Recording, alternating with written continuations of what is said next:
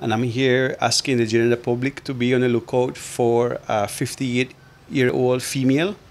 Uh, she's a missing person. Her name is Ms. Dilcia Martinez. Uh, she's from number 20 Muhammad Ali Street here in Belize City. She's missing from uh, Tuesday uh, after midday. Uh, last known whereabout is uh, she was catching a Belama bus, and since, ever since she's been missing, I'm asking the general public to please be on the lookout.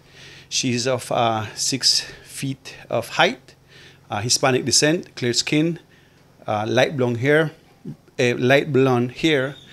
Uh, she has a scar over her chin.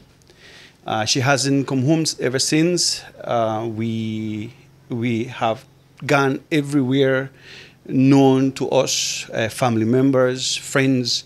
We have called everywhere and everyone that we know, and there's no sign of her. We have checked hospitals, we have made police report, and there's no sign of her. I'm asking the general public if you have seen her anywhere, do you know where she is?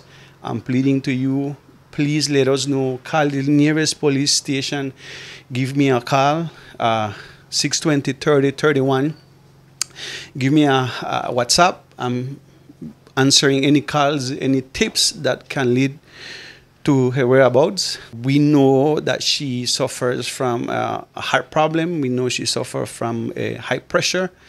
Uh, she doesn't have anything on her, not even her cell phone. She doesn't have no clothes on uh, with her. All she has is the clothes on her back.